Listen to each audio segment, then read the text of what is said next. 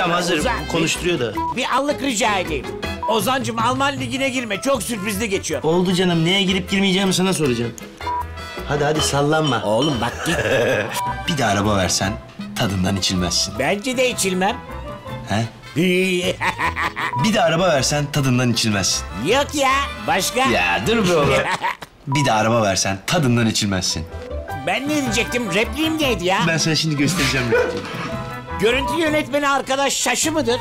Senin şu dizilerde bana poşet çayı rolü yok mudur?